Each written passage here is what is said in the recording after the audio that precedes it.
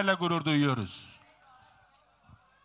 Özellikle ekranlarda yaptığım konuşmalar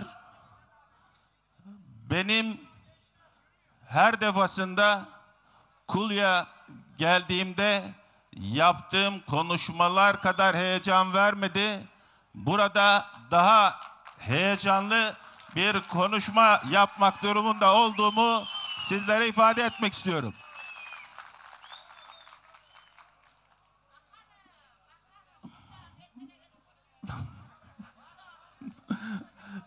İnşallah, inşallah. Şimdi kuluyu, kulumuzu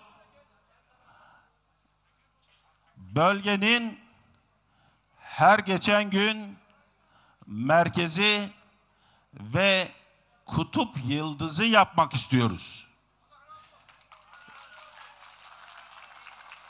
Bunun için çaba gösterdiğimizden emin olun. Ben her defasında sizlerin huzuruna çıkarken yapılan ve yapılacak olan hizmetlerle karşınıza çıkmak istiyor ve mahcup olmak istemiyorum.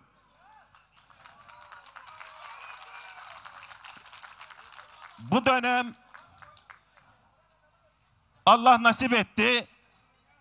Sizler bizi yetiştirdiniz bu, to- bu topraklarda. Bizlere de sizlere Rabbim hizmet etme imkanı verdi. Her vatan evladı gibi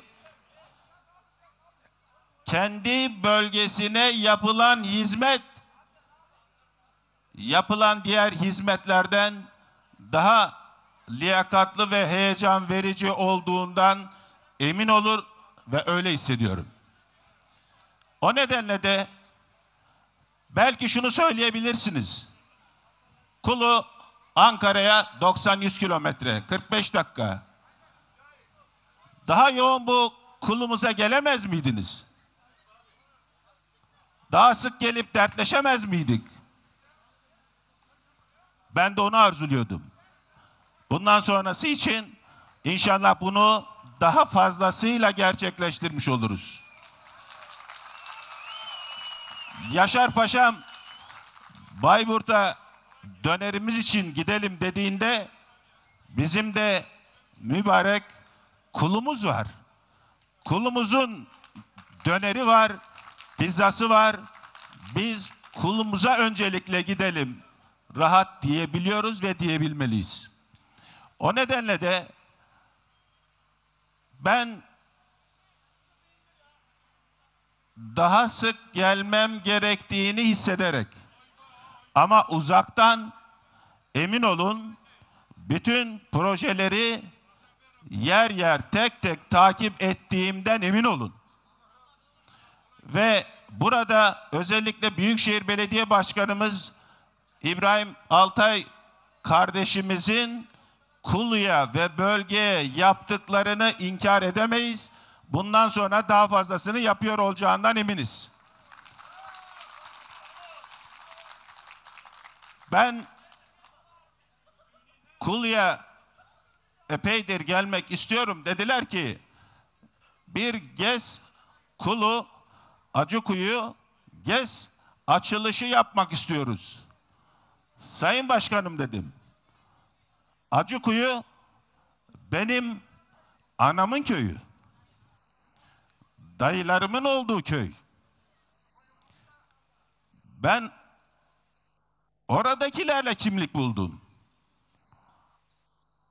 Kulu Acıkuyu'ya yapılan GES'in hakkının Büyükşehir'den önce anamın da biraz hatırı olsa gerek Kulu belediyemizin olmalı dedim. Sağ olsunlar kendileri bu müjdeyi siz verin dediler. Kendileri demin özellikle söylemeyi bana bıraktılar. Yani 64.4 milyon TL'ye mal olan 14 Aralık'ta faaliyete geçen 20 dönüm üzerinde yapılmış olan güneş enerji santrali ve bununla birlikte elektrikli şarj istasyonu dahil olmak üzere yeni dönemde kulu belediyemizin olacak. Bütün gelirleri kulu belediyemize ait olacak.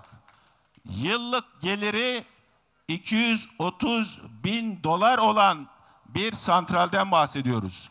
İmkanlar ölçüsünde bunu daha da büyüteceğimizi söylemek istiyorum. Normalde iller idaresinden gelen ortalama belediyeye gelir 10 milyona yakın bildiğim kadarıyla. Neredeyse bir o kadar daha gelirin geleceği bir hazır 3 aydır devam eden GES'ten bahsediyorum. Hayırlı olsun. Sayın Başkanım çok teşekkür ediyorum. Bunun dışında şimdi doğalgaz sesi duydum.